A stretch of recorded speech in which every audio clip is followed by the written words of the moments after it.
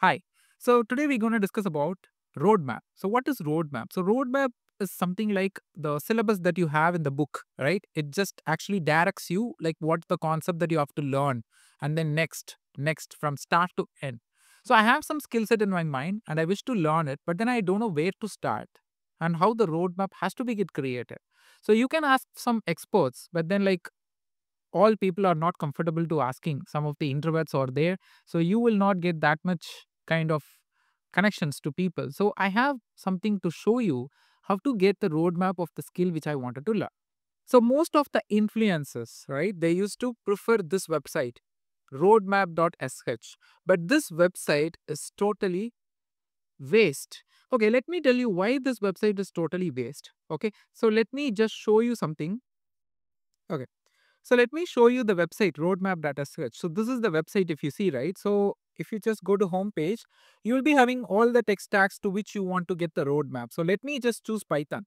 Right. So my experience, I've been into big data, data engineering and cloud data engineering for almost 11 years. So I know like what is the roadmap for Python, SQL and other tech stacks which is related to data engineering. So I just gonna choose my familiar technology so that I can say whether this roadmap is valid or not. Right. So if you just take this right, so you, this has a flow chart. Diagrammatically, everything is good, but then this is not organized, and this has too much of uh, information, and then they miss some of the important concept which is required, and they add so much concepts which is not even required as a part of roadmap.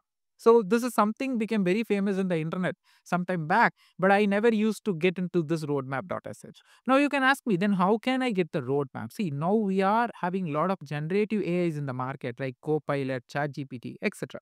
So now I'm going to use ChatGPT and show you how to get the roadmap for the desired skill that you want or the language or technology whatever it is. So here is my prompt okay. So you can replace all the letters all the words whichever in capital at capital. So you can change it uppercase you can change it to whatever you want. So it's like a filling the blank. So let me just show you. See i have a prompt. This prompt you can get it from the description box of this video. See it says like give me a roadmap for learning python. So it's in uppercase. So you can replace it with full stack or data engineering cloud data science ai whatever it is.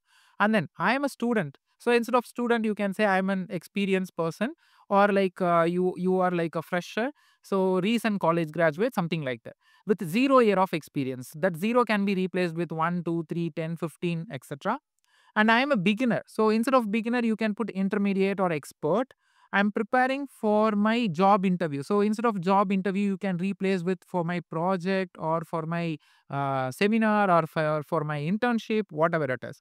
So give a useful roadmap point by point. So you can use this prompt. So this has given the information, the roadmap, like step by step, and it has duration like two to three weeks. So if you take step one, learn the basic two to three weeks. So it has giving you the duration as well. So it says install, uh, set up the IDE, variables, data type, control flows, and steps two, like again, like three to four weeks, data structure, functions, error handling. Step three, it's like object oriented and, and and so on so right. So it even covers some of the project ideas and also like what are all the advanced platform in which you can practice uh, programs like LeetCode, etc and finally it has giving you some of the interview preparation and resource document so resource document is something like you don't it's not mandatory that you have to use.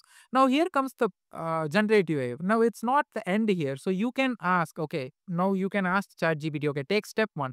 Can you give me a detailed information of it? And also give me the links where i can learn it easily. Or you can say teach me like five i'm five years old kid. So you can ask all this to this kind of prompts, uh, the generative AIs as a prompts, right? So this is the only thing that I recommend if you want to get the roadmap for any tech stack and continue learning with the help of generative AIs. So that's it, guys. So to teach you in this way, I am there, so you can follow me and subscribe me. And thanks for watching.